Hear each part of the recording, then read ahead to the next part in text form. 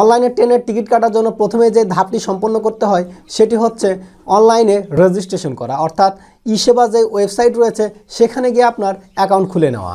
ইসেবা dot সিএনএসবিডি dot com এই ওয়েবসাইটে ঢোকার পর আপনার এনআইডি আপনার ইমেল এবং আপনার ভ্যালিড মোবাইল নাম্বার দিয়ে একটি অ্যাকাউন্ট খুলতে হয়। অ্যাকাউন্ট খোলার পরে এবং সেটি মোবাইল নাম্বার দিয়ে ভেরিফাই করার পরে আপনারা ট্রেনের টিকিট কাটতে পারবেন। তো চলুন আপনাদের দেখে দেয় আপনারা কীভাবে ইসেবা এই ওয়েবসাইটে ট্রেনের টিকিট কাটার জন্য রেজিস্ট্রেশন করবেন। তো চলুন ভিডিওটি শুরু করা যাক। ভিডিওর শুরুতেই বলব, আপনি যদি আমার এই চ্যানেলে নতুন হয়ে থাকেন, অবশ্যই সাবস্ক্রাইব করবেন এবং পাশে থাকা বেল আইকনে ক্লিক করবেন। ইতিমধ্যে যদি সাবস্ক্রাইব করে থাকেন, তাহলে অসংখ্য ধন্যবাদ। তো প্রথমে আপনারা আপনাদের ব্রাউজার ওপেন করবেন এবং সেখানে লিখবেন ই সেবা সিএনএসবি তো দেখুন, প্রথমে একটা ওয়েবসাইট আসবে, Bangladesh railway electronic ticket system সেখানে ওকে করবেন। তো আপনার যদি আগে থেকেই রেজিস্ট্রেশন না করা থাকে, তাহলে রেজিস্টার ইউজার ওখানে ওকে করবেন। প্রথমেই আপনি আপনার নামটা লিখে নেবেন, দেখুন নেমের ঘরে সেখানে নাম লিখবেন। তারপরের অপশনটা আসবে ইমেল অ্যাড্রেস তো সেখানে আপনি আপনার ইমেল অ্যাড্রেসটি লিখে দেবেন এবং এখানে মোবাইল নাম্বার লিখবেন। প্রথমে জিরো বাদ দিয়ে আপনার দশ সংখ্যার মোবাইল নাম্বার লিখবেন। শূন্য লিখবেন না। শূন্য ছাড়াই লিখবেন। শূন্য লিখলে হবে না। তো মোবাইল নাম্বার লিখে ফেলার পরে দেখুন পাসওয়ার্ডের ঘর আসবে। সেখানে আপনি আপনার ইচ্ছা মতো পাসওয়ার্ড দিবেন, অবশ্যই আট সংখ্যার বেশি দিবেন। আমি দেখুন একটা অটোমেটিক পাসওয়ার্ড দিয়ে দিয়েছি এবং সেটা কপি করে নিচ্ছি, কারণ আমার মনে থাকবে না।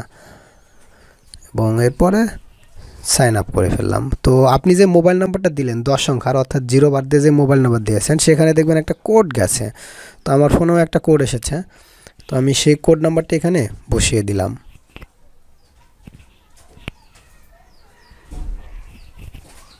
তো কোড নাম্বার বসানো হয়ে গেছে। এখন ভেরিফাই ওকে করুন।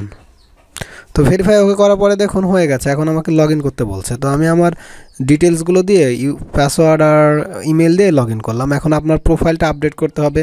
প্রোফাইল আপডেট করার জন্য দেখুন লগ ইন করলে প্রথমে আপনি যখন লগ করবেন, এই ওয়েবসাইটে চলে আসবে।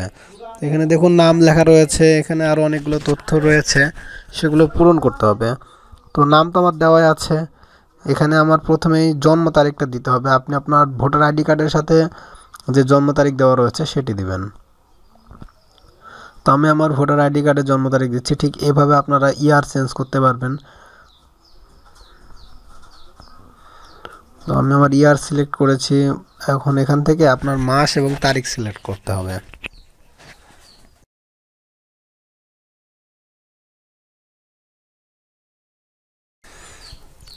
জিপ কোড অর্থাৎ আপনার পোস্ট অফিসের কোড লিখবেন এখানে। এখানে রাজশাহীর আমি যেই জায়গাতে আছি, সেইখানকার কোড ছয় দুই শূন্য পাঁচ এবং সেখান থেকে আপনি এই জায়গাগুলো ঠিক করে পূরণ করে নেবেন।